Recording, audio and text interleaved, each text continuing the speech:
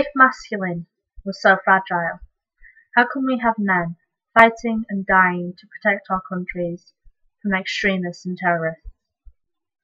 If masculine was so fragile, how can we have men who will work long and hard hours to care, provide, and protect their family and loved ones, even at the cost of their own life?